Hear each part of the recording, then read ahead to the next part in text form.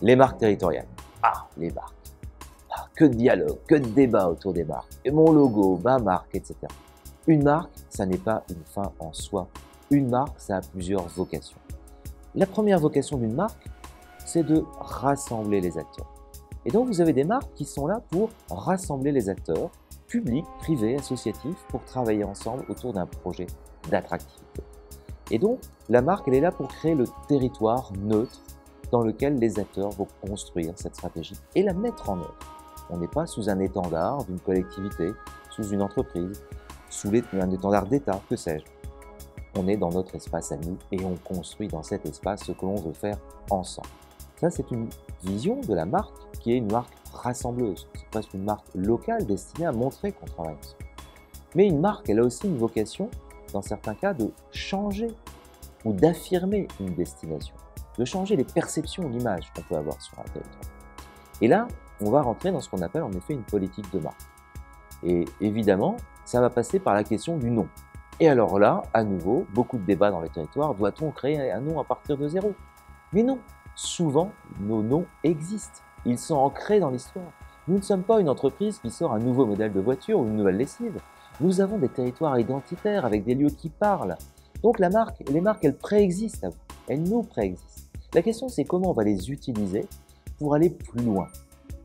Et donc la question, c'est de partir du nom, des noms qui existent, et de leur associer, quelquefois, un mot à côté, une expression, une baseline, pour montrer qu'on veut aller au-delà de la perception. Je vous donne un exemple. Étant à Paris, la marque Paris. C'est une marque formidable, Paris.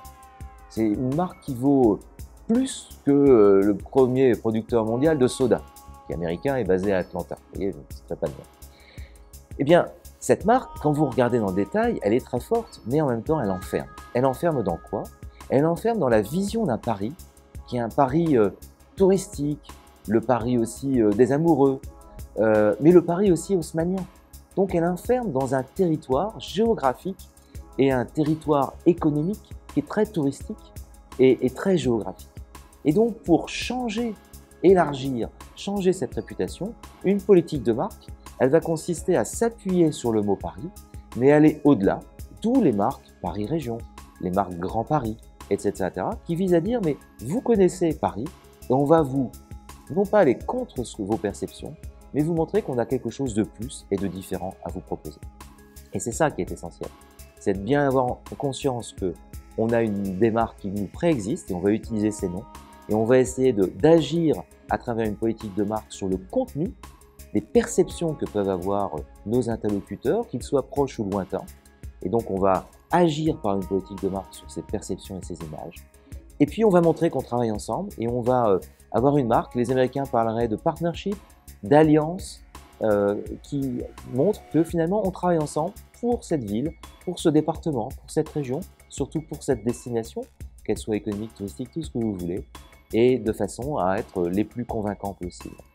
Voilà pour moi ce qu'est une politique de marque.